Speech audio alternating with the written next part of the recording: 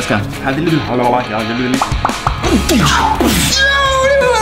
neues Video und Sonntag euch. Wir hoffen natürlich, ihr verbringt die Zeit nicht draußen, sondern zu Hause vom Bildschirm, damit ihr dieses wunderschöne Video gucken könnt. Heute was ganz Besonderes vorbereitet, denn Mark Ingi ist am Start. Ja, ich bin am Start, aber ich weiß noch gar nicht, worum es überhaupt geht hier an diesem wunderschönen äh, Sonntagmorgen. Ich habe lustige Fragen von der Plattform gutefragen.net rausgesucht und ihr sollt auf diese Fragen antworten. Also die Person hat uns sozusagen gerade diese Frage gestellt Genau. und bekommt jetzt äh, direkt die Genau. äh, In Antwort. your Oh, face. ich kann mir das gut vorstellen. Ich glaube, da kommt die ein oder andere Schandtat bei rum. Beginne mit der ersten Frage. Freundin will Schluss machen. Ich auch. Was sollen wir tun? Gerade ratlos. Schluss machen? Ja. Tschüss. Das war die Frage. Das hat der ins Internet gestellt. also die Freundin will Schluss machen, er will auch Schluss machen, dann würde ich Schluss machen wahrscheinlich. Nochmal, komm, versuch's doch nochmal. Wenn ihr beide Schluss machen wollt, ihr solltet euch noch eine Chance geben. Eine zweite Frage zum Thema Fitness. oh, das ist dein Milieu. Wie schaffen es Bodybuilder, total unbehaart zu sein? Sie äh, rasieren sich oder lassen sich waxen. Tatsächlich, die gehen dann zu einer Frau Oder auch Mann. Oder auch Mann. Gibt es Männer, die waxen? Aber dann gehst du da als Frau und sagst einmal Brazilian Waxing Bill du damit Erfahrung. Du tatsächlich nicht. Ich lass mir gerade Haare stechen. Bei mir wächst halt auch nichts, ne? Mein Toupet ist in den Rotkohl gefallen. Was tun?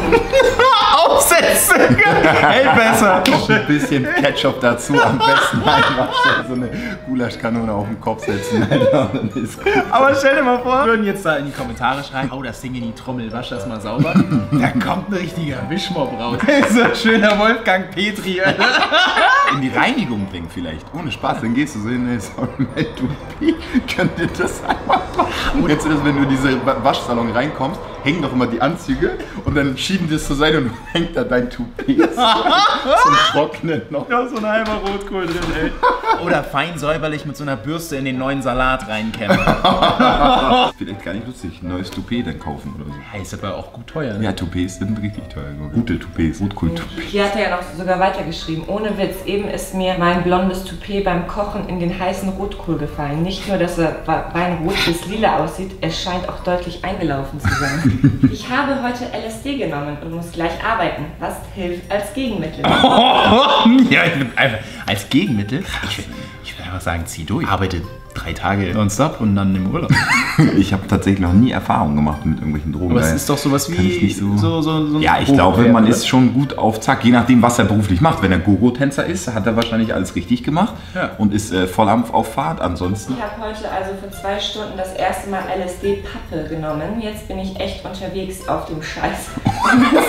Aber in einer Stunde an der Arbeit sein. Wie lange wirkt das noch oder was hilft als Gegenmittel? Ich würde gerne mal wissen, wie schnell er diese Nachricht geschrieben hat. krass, aber das ist wirklich stimmt. Aber ich würde gerne mal wissen, warum probiere ich das erste Mal in meinem Leben LSD aus, wenn ich weiß, ich muss auch in einer Stunde auf der Arbeit. Vielleicht hat er das ja letzte Woche genommen. Der ist einfach immer noch. Eine, wie lange wirkt der Scheiß? einfach einfach erstmal nehmen und danach Gedanken machen. Also Tipp Nummer eins, erst Gedanken machen und dann nehmen. Wobei Drogen gar nicht ja, nehmen. immer ohne Flagge. Nennen, Whistle. Eine kleine, Nein, auch das gibt's nicht. eine kleine Technikfrage. Wartet der Strom hinter der Steckdose? Ist, ist der Strom die ganze Zeit da? Irgendwo eine berechtigte Frage. Ja. Oder ist der auf Abruf? Steckst du rein und dann ist da so einer, der ruft an, hey, Bro, Strom, komm mal vorbei. Durch, schick durch. Wir brauchen einmal Strom. Was ist es denn? Ja, Laptop, Netzteil, gut. Okay, volle. Kraft voraus. Oh, das ist halt so, dass da diese Schutzfolien drin sind. Sobald diese Pins reingehen, schwimmt die Scheiße da schon entgegen. Wir könnten ja mal den Finger reinstecken in die Steckdose, um zu gucken, ob der Strom auf uns wartet. Oder mal ganz vorsichtig öffnen und fragen. Hallo? Hallo? Strom? Eon? Hallo? Mit großem Bizeps große Verantwortung. Wie damit umgehen? Die Frage habe ich nie verstanden. Welche Verantwortung? Hä? Habt ihr es jetzt schon verstanden? Habe ich Selbst. noch nie gehört. Und ich trainiere immer so meinen Bizeps, jetzt weiß ich, danach habe ich mehr Verantwortung. Hier hat er noch ein bisschen weitergeschrieben. Ah, guck mal, das ist Ja, nämlich das du, Interessante. Man muss das sind, immer, weiterlesen. das sind immer die Leute, die lesen einen halben Satz und denken Nein, gleich, das war da die wird- Hauptfrage. Jetzt kommt dieses jetzt kleine. jetzt Ah, kommt okay. das Kleingedruckte. Pass auf. Ich trainiere seit längerem und bin der mit Abstand stärkste in meiner Klasse. Das verschafft mir viel Macht und Einfluss. Ich weiß, dass ich meine Kraft dafür einsetzen sollte, Gutes zu tun. Also die Schwächeren beschützen. Eigentlich ist das ja eine ganz gute Frage. Vielleicht Ja. sollte er ab und zu auch mal seine Gehirnmuskel trainieren. Oh, das war ein Diss. Das war das. Wie heißt er denn? Einmal sitzen geblieben wahrscheinlich. Ja, ich würde sagen, du machst einfach vor der Klasse 2 10 Türsteher. Ja, aber die Schwachen beschützen ist immer ganz gut. Robin finde Hood ich. Style. Ja, ist ganz gut. Passend zum gestrigen Video eine Star Wars Frage. Oh. Gibt es leuchtende Kondome, die in der Nacht wie Lichtschwerter bei Star Wars leuchten? Das wäre die geilste Erfindung, wirklich. Glow Glowcock. Gibt es das? Glowcock? Glowcock? Also ich würde tatsächlich sagen, dass die meisten von uns eher, wenn sie so richtig in Fahrt kommen. wenn sie richtig in Fahrt kommen, eher auf der dunklen Seite der Macht sind und ein rotes Schwert haben, oder? Aber leuchtende Kondome habe ich noch nie gesehen. Wir fragen mal einen Experten, Sabibo. Du kannst ja mal richtig in die Höhle reinleuchten. Ne? Pumpt die Palme an, wir mochten das. Nee. Eigentlich ist das aber auch gar nicht so cool, weil jetzt denke ich gerade drüber nach. Laserschwerter, als würden wir jetzt hier unsere Schniedel kreuzen. Das ist ja schon ein bisschen. Spinnt sich auch schon wieder ein zurecht hier. So, hä, keiner redet von uns und dass du schon wieder Ja, bei so Glowcocks an mich denkst und wir machen Kreuz, Ching, Ching. Warum denn? Da hat jemand eine Frage und du kommst mir direkt schon wieder mit, jetzt muss ich hier Ich mein, würde auch eher mein jemand rausholen. denken, dass das aus so einem speziellen Stoff durch Licht aufgeladen wird und damit wie dieses UV-Licht. Schwarzlicht. UV-Licht, genau. Der Link zu den Glowcocks. Unten in der Infobox, Leute, checkt's auf jeden Fall mal ab. Safety first, Leute. Ja. Wir lachen hier über diesen, es ist ja auch ist ja gar kein Spielzeug, sondern auch eine Ernsthaftigkeit, Ja. die dabei ist. Das muss man auch Gerade beim sagen. Sex im Dunkeln. Ja, das war wirklich auch einer meiner ersten Ideen. Nachts im Park. Habe ich nichts mit zu tun, kenne ich mich nicht aus. Aber habe ich schon mal gesehen, dass das Leute tatsächlich betreiben. Und wenn du dann im Dunkeln tagst und packst dann einen Glowcock aus, dann bist du natürlich, dann findest du auch. Zieh dir mal rein musst. auf Es so ist eine eigene Raver-Party. Folge, ey. Alle so am Dancen. Der ein oder andere Glowcock fällt da gar nicht mehr auf. Hat der Glowcock geschrieben oder ist das jetzt gerade schon so eine eigene... Achso. Ja, lass direkt patentieren. Ich will nur erwähnen, das sind nicht unsere Fragen hier. Ne? Das sind Leute aus dem Internet. Wir versuchen hier wirklich nur zu helfen. Hey, ich habe eine Rose gemalt. Was kann ich dazu malen? Ein Herz. Ein Rosenblatt. Ich liebe dich schreiben. Oder einen Glowcock aufzeichnen. So einer, der so aus dieser butterweichen Dann rauskommt. kommt dieser Glowcock und du drückst auf den Knopf und er leuchtet. Bald gibt es auch noch die Glow-Spirale für die Ladies. Ey. Boah, alles scheiße hier. Ey. Das Ding wird nicht gesendet.